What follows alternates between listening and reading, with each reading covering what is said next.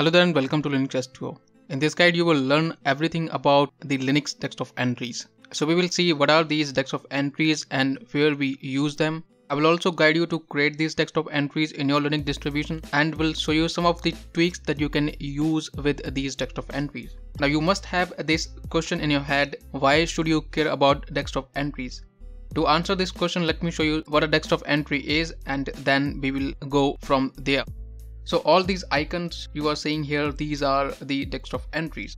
So here you can see this is the application menu. This is GNOME, which is why it is looking like this. In different desktop environment, it is kind of different and in different distribution they have different kind of desktop environments and they look differently but the concept is same the concept is that these all icons that you're seeing these are the desktop entries and desktop entry is just a simple file that contains the meta information about a particular application and how to start that app. For example here is the software center. So if I click on that it start the software center in my Linux distribution. But how does it do that? So let me show you a desktop entry. All the desktop entries are stored H two locations. So let me just show you the user wide available desktop entries simply press ctrl at scroll down and find the folder called local. In the local go to the share and in the share go to the applications folder. So you will find these all desktop entries. We call them desktop entries because they end with a dot desktop extension. So for example, I'm just going to show you a desktop entry that start a particular application. Now here you can see I have a desktop entry for JetBrains IDE so if I open it up you will see that uh, it contains some lines. So this is the desktop entry and uh, this has the meta information about that particular application. For example how it can start the application where is the startup executable file where is the icon that it has to show and what is the name of the application. So this is the basic information. So if I search for this application in my system in IntelliJ you can see it is showing me the exact name that is written over here and the icon that is available at that particular location and uh, the file that it will execute to start the application. Now the question that I was talking about why you should care about desktop entries. Now you should care about these desktop entries because there are times when you have to install an application and that application does not come with a desktop entry. For example, recently I published a guide about DroidCam. So if you install the DroidCam in your distribution, you will not find DroidCam in your application menu because it is not available there.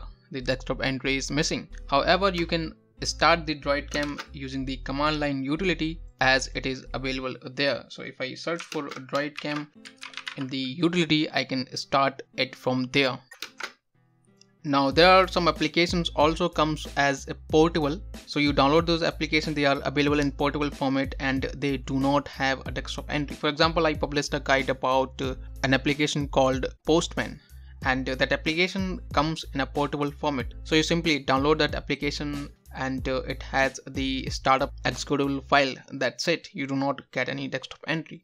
And it is like this. You download the application you have the folder of it and inside that folder you have a file that you start the application. For example in this case the file name is this. So in order to start that particular application you always have to open a terminal and then execute that particular file to start it. Now this is fine with me but uh, a lot of people find it cumbersome and they do not want to navigate to that particular folder and then execute that particular file in order to start it. So in that case what you have to do you have to create a desktop entry so that that application can pop up in your application menu. And from there you can simply click on it and it should start the application. So let's see how we can create that particular desktop entry in our system now as you know the DroidCam is installed in my system but the desktop entry is not available. That means I do not get any DroidCam icon over here. So what I can do, I can simply create desktop entry in my system and uh, configure it to start the DroidCam. So how can I do that? There are two simple ways that you can utilize. The one is by duplicating any of the desktop entry that is available and simply change the name and its information. For example, this is the JetBrains. So I can simply duplicate it.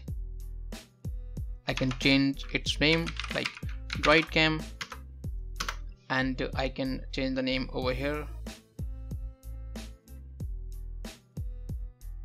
Let's change the icon as well. So I'm going to my downloads folder.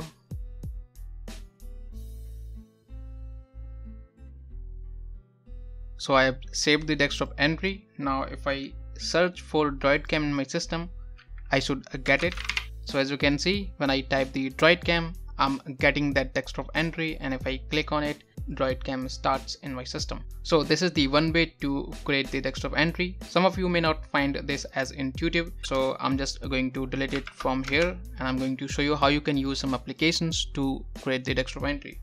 So for this you need a menu editor. So just open up the software center and search for menu editor you will find bunch of options for installation so this one is the menu libre. This is another one. This is the mozo i think. And uh, you will find bunch of these applications available. So let's start with this libre menu. Most of the applications look similar so you do not have to worry about that.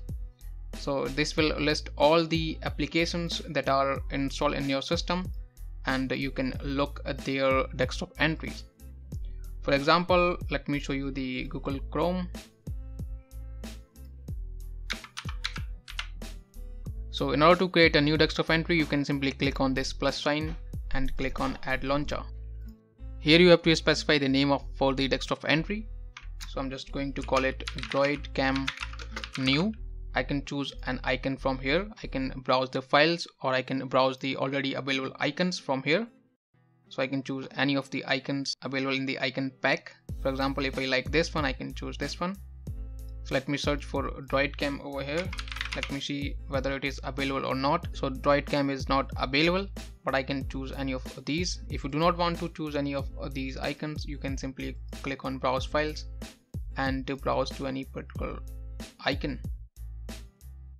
Here you have to specify the command which was droidcam to start the application. If uh, the application does not have any command then you can simply choose the file that is start the application. Simply click on the folder icon. Go to that particular application folder. For example we have idea ic and to start the idea ic we have to execute idea.sh so you can simply select and that's it. That's all you have to do. So i'm just going to type here droidcam now you simply hit on the save button and the desktop entry will be created. So let me search for droidcam again. Now you see droidcam new. So here is the droidcam now it also comes with bunch of options over here. For example you can specify the category like the internet category the game category and it also has some advanced features. So i'm going to talk about these features now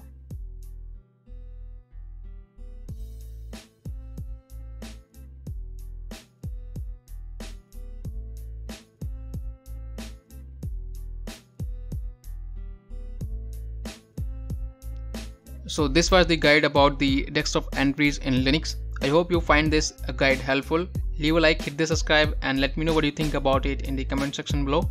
I shall catch you in the next one. Till then, take care and keep enjoying Linux.